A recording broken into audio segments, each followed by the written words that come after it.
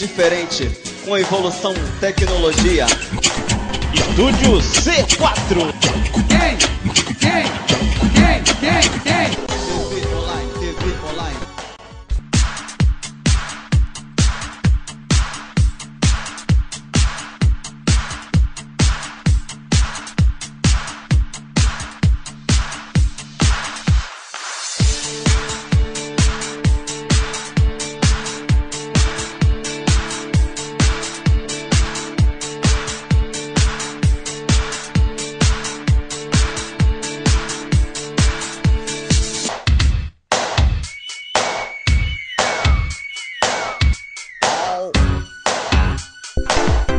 Estúdio C4.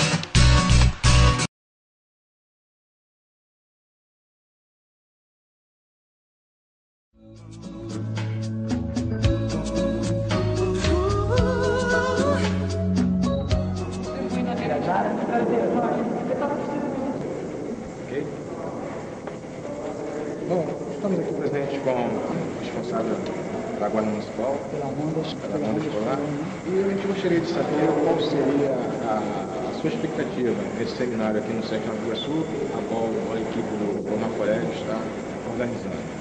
Bom, é, como havia conversado com ele, contatos feito antes de vir ministrar a palestra, com certeza, como professora que sou, eu sou muito otimista.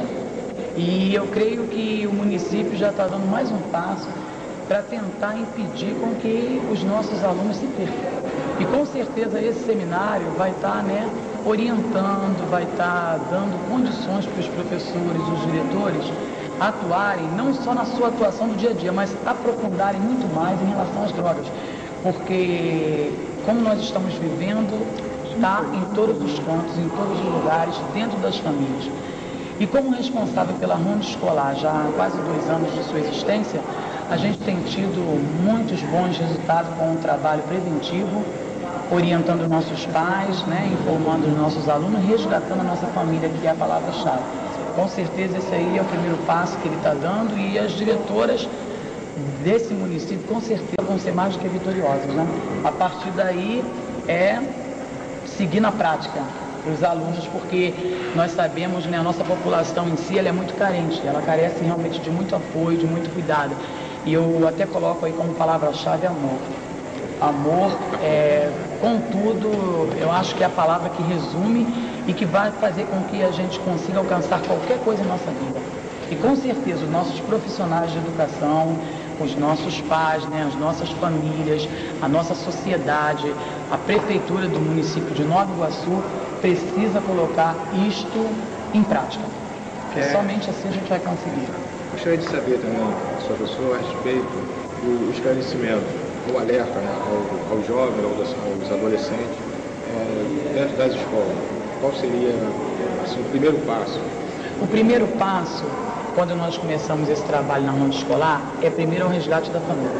Não adianta você querer passar qualquer coisa para os filhos se você não tiver uma integração da família escola. Então, o primeiro passo da ronda escolar Guarda Municipal seria resgatar, a palavra é essa, é resgatar a família que está se perdendo. Quantas famílias hoje em dia estão se perdendo? Por quê?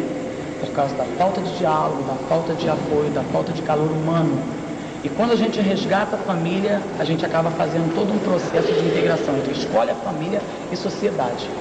Desta maneira, o nosso primeiro contato aí é com os pais, conscientizando, mostrando de que maneira eles podem impedir com que seus filhos passem a ser um usuário de drogas, no sentido maior. Né? Porque aí a gente começasse a falar sobre drogas aqui, poderíamos falar que muitas famílias estão usando drogas dentro de casa. Os remédios sem consulta e outras coisas mais. Então, seria muito amplo, né? O pai que fuma, o pai que bebe uma cerveja ou outras bebidas com teor maior de alcoolismo e fala para o seu filho sobre droga. E ele está passando para o filho o exemplo, porque tudo dentro de casa está sendo um exemplo copiado pelos pequenininhos. Né? Então, depois dos pais, a gente passa a fazer um trabalho com as crianças, orientando, mostrando as consequências das drogas no seu organismo, na sua vida em si. Fazemos um resgate também do amor próprio, né? Ele gostar dele, da vida dele, isso é muito importante, a valorização. E com certeza, através disso aí, ele passa a ver o sentido de existência dele Quer dizer, ele não está preocupado não só com o pai, com a escola, com a sociedade, mas em si, a vida dele, a função dele aqui na Terra. Como é importante ele cuidar do corpinho, eu costumo até falar em palavras bem simplesinhas, o bracinho, a perninha, o olhinho, como está funcionando gostosinho, que bom, que bom que você existe, que bom que você está aí para lutar pelo seu ideal. Então a partir daí, com um ano e praticamente nove meses, a gente tem tido um retorno muito bom por parte dos alunos, por parte dos pais, porque passam a somar com a escola. Como professora que fui durante 18 anos, porque parei de lecionar já tem um ano e pouco, eu realmente sentia muito a deficiência da, do afastamento da família escola. Porque tudo se passa na sala de aula com o professor e o pai e a mãe não são todos, mas na sua, no, no seu geral, ele se, ele se afasta. Então fica muito mais difícil você fazer um trabalho com a criança que não tem o acompanhamento do pai. Nós sabemos que esse pai e mãe é muito coloquial, porque pode ser uma tia, pode ser uma avó. A criança muitas das vezes ela fica com uma pessoa só cuidando dela, né? Mas é importante colocar isso aí. Então, um resgate família, eu creio que seja tudo na nossa vida, até na nossa vida profissional. Porque sem ela você não vai jamais ser alguém no profissionalismo. É, a família tudo é base, né? Eu gostaria que a senhora, né, para finalizar, a senhora passasse a sua mensagem para não só para os educadores né, de Canaru, para toda a equipe presente, porque essa, esse vídeo será encaminhado para as demais secretarias. Seria até importante nas secretarias é, participar mais, né? Gostaria que a senhora passasse a sua mensagem. Olha, primeiramente, agradecer a oportunidade de estar aqui. A Deus, primeiramente. Claro. E com certeza também o município por ter concedido né, de nós estarmos aqui para ajudar, sermos instrumento de apoio.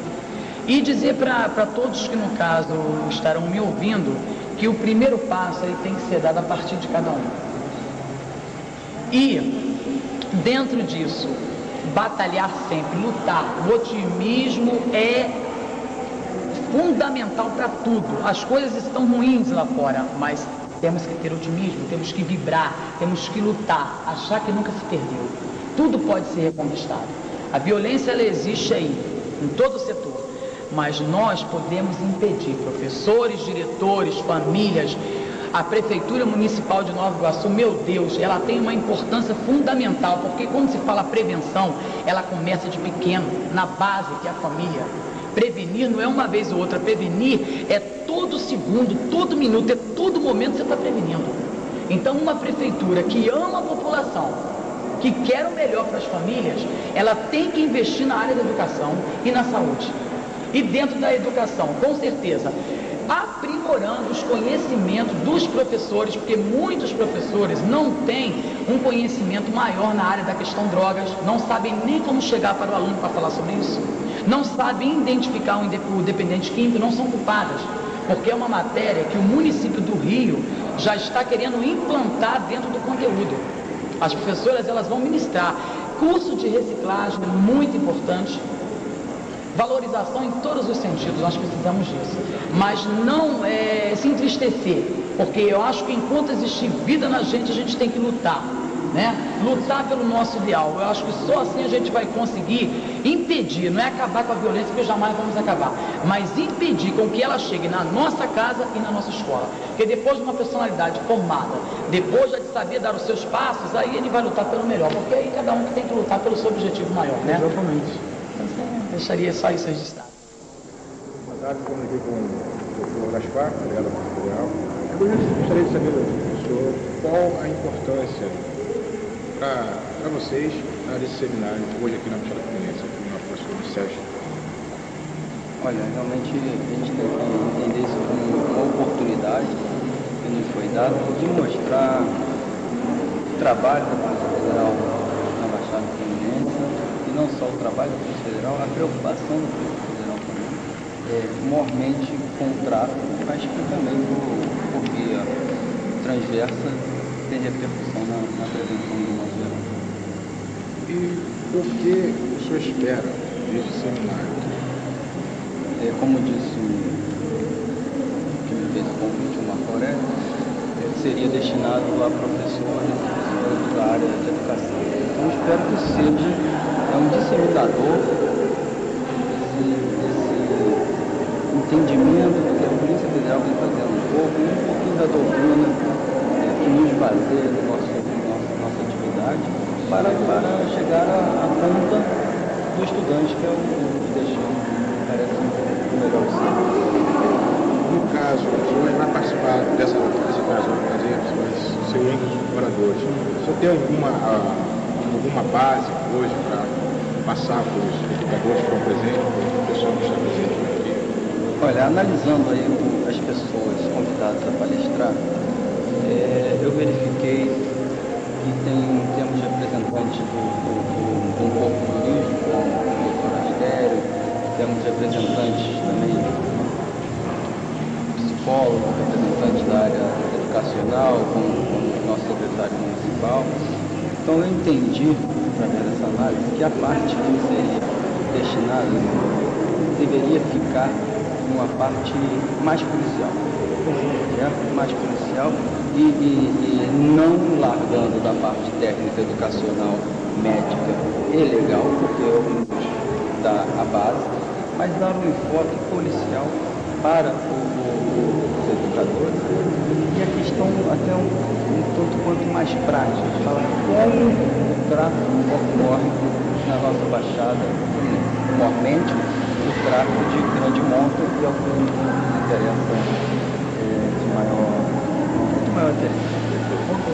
Para finalizar, a gente gostaria de ouvir a mensagem da sua pessoa.